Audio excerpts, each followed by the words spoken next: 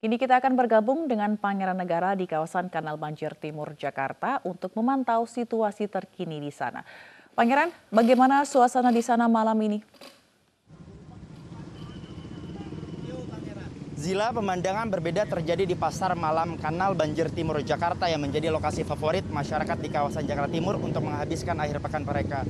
Perbedaannya adalah pada malam hari ini kondisinya memang ramai, namun tidak seramai biasanya. Sebab menurut penuturan beberapa pedagang yang ada di tempat ini yang sebelumnya sempat kami tanyakan dikatakan bahwa biasanya pada akhir pekan kondisi di pasar malam ini begitu ramai, jumlah pengunjung sangat banyak dan membludak dan tidak jarang juga orang yang sekedar ingin menyeberang pun merasa kesulitan.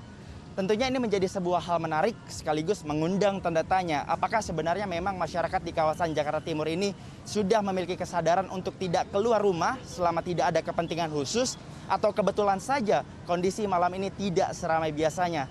Namun yang pasti dari pantauan kami di lapangan sejak sore hingga malam ini kami melaporkan mayoritas di antara masyarakat relatif sudah mematuhi aturan protokol kesehatan mereka sudah menggunakan masker meskipun ada juga yang salah dalam pemakaiannya. Mereka banyak menggunakan masker dan meletakkannya di bawah hidung bahkan di bawah mulut. Namun untuk para pedagang sendiri mereka sudah kemudian menyediakan fasilitas tempat cuci tangan sekaligus hand sanitizer yang tentunya diperuntukkan untuk para calon pembeli sebelum nantinya para calon pembeli tersebut memegang-megang ataupun melihat-lihat barang dagangan yang dijual.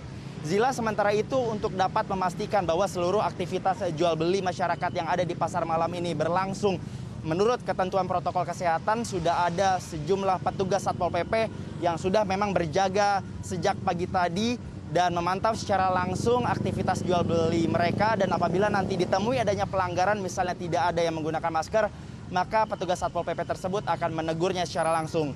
Sementara itu untuk kondisi arus lalu lintas dari pantauan kami meskipun ramai namun tidak kemudian menyebabkan kepadatan bahkan kemacetan yang terlalu signifikan. Zila dengan ramainya pasar malam kanal banjir timur ini pihak Pemprov DKI Jakarta tentunya wajib melakukan evaluasi lebih lanjut karena kita sama-sama mengetahui di DKI Jakarta sudah ada lebih dari 50 pedagang di enam pasar yang terinfeksi positif corona.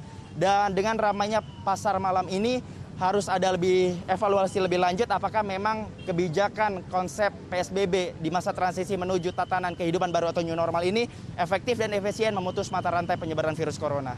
Zila.